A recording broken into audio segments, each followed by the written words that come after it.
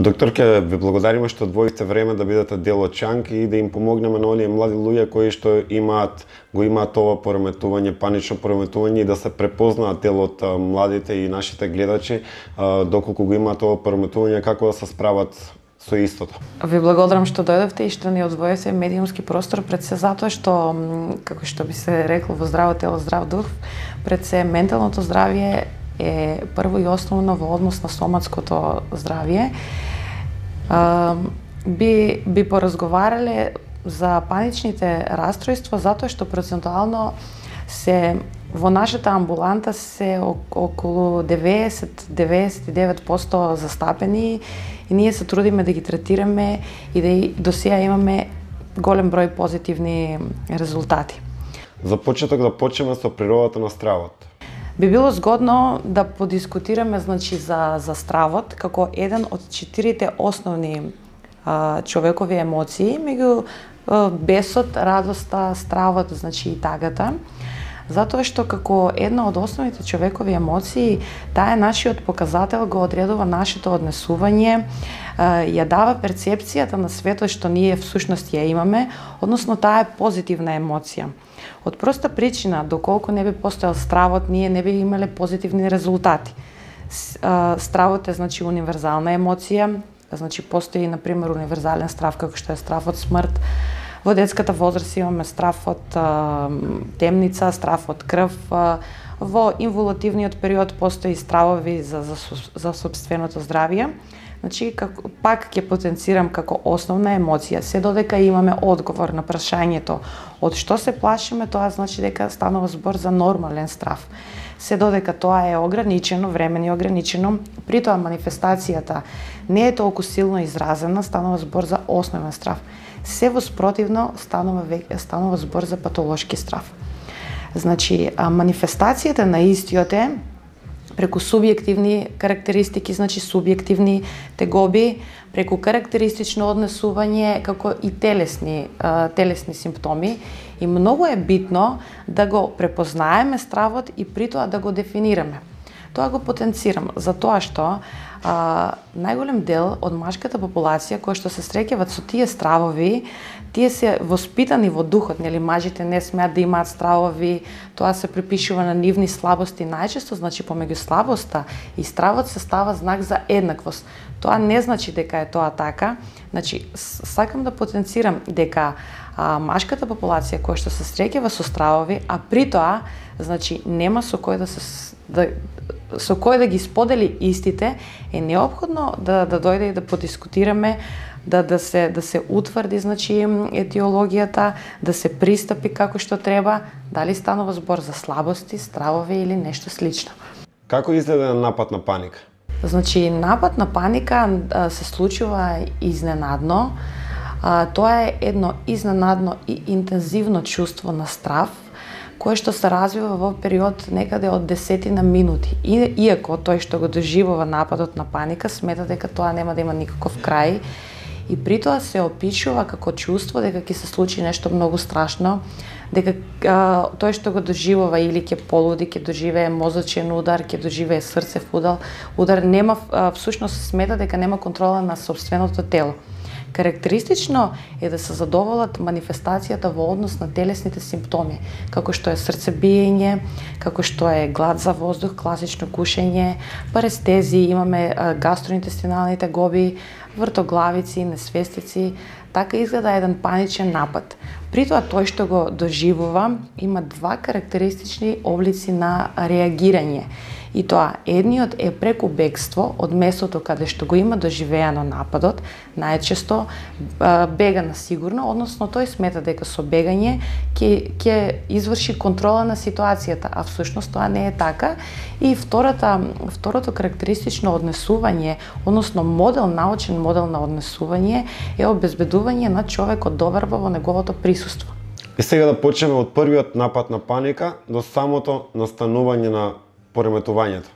Значи првиот напад секогаш е, како што кажевме, изненаден, е неочекуван и е застрашувачки во однос на симптомите кои што се јавуваат и нивната јачина, како и брзината на, реаги... на а, развивањето ќе зависи реакцијата на тој што го доживува како и а, претолкувањето на симптомите кои што ги доживува.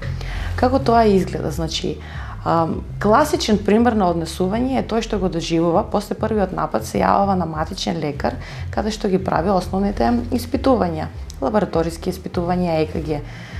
Одговорот од матичниот лекар најчесто е пози, позитивен, тоест негативен во однос на отсутство на било каква симптоматологија или, или расстройство на соматското здравје. Оној што го доживува во оној момент се чувствува сигурен затоа што добива позитивни резултати од неговиот матичен лекар. Каде настанува пореметувањето и кога настанува забуната кај кај луѓето кои што го доживуваат веќе во вториот напад, тоест во низата последователни напади. Процедурата е иста, тој повторно се јавува значи кај матичен лекар, повторно се прават сите испитувања, Откога ќе се утврди дека овде нема никакво соматско заболување, најчесто, значи матичните лекари дискретно и многу суптилно ги упатуваат на психијатар, затоа што доскоро се знаеше зошто се оди, мислам, се знаеше кај психијатар и овде настанува а, состојба на, на забуна кај, кај пациентот кој што ги има паничните напади. Прашањето е, зошто јас имам проблем со, со срцето, а матичниот лекар ме, ме праќа на психијатар. Овде не може да ја најдат логичната врска и моментот додека да се дојде на психијатар, додека да се консултира терапевт е особено мачен за, за клиентите кои што ги имаат овие пореметувања. Зошто настанува самото пореметување? Значи, тоа е една формула на склоности и околности кои што од кој што се вродува значи паничното пореметување. Како што знаеме, секој од нас има некакви склоности. Тоа се во однос на генетската предиспозиција и темпераментот, како и околности.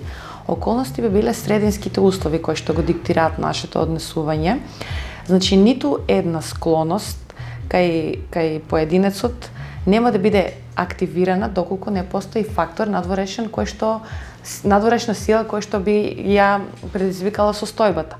Значи склоност за музика, за пишување, меѓутоа овде имат и негативни склоности. Како што кажевме, значи генетска предиспозиција, темперамент е група на, на својства кои што ја даваат цртите на личноста од типот луѓето кои што се склони кон панични напади се интровертни, се најчесто субмисивни, се инхибирани во односите на другите лица, се малце по повлечени во однос на воспоставување на социјалните, значи контакти.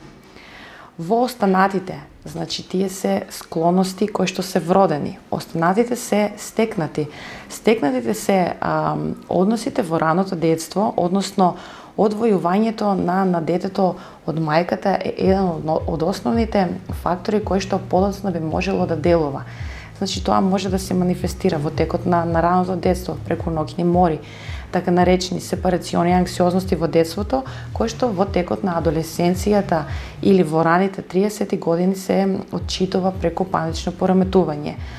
А, друг карактеристичен пример се присуството на хронична болест во семејството, затоа што уште од рано детство децата научуваат дека треба да очекуваат некаков негативен исход од собственото тело практично тие не веруваат на собственото тело и ја губат контролата во однос на, на тоа дека не можат да се справат со болестите, а тоа е еден модел, научен модел на однесување, доколку во, со, во семејството имало болен член.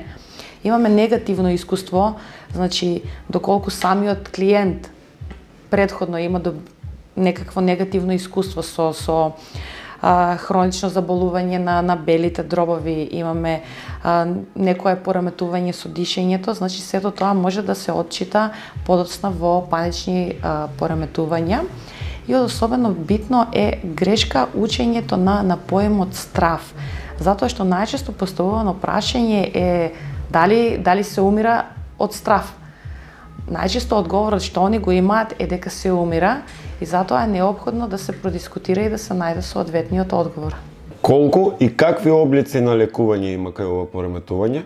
Облиците на лекувањето за паничните паничните расстройства се значи прво и основно е а, фармакотерапијата е необходна А, облик на лекување е психотерапијата и комбинираниот пристап на, на лекувањето.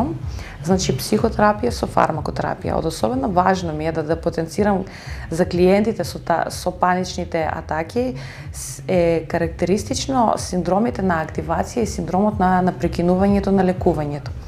Затоа што лек на избор за, за таквите состојби е антидепресивната терапија.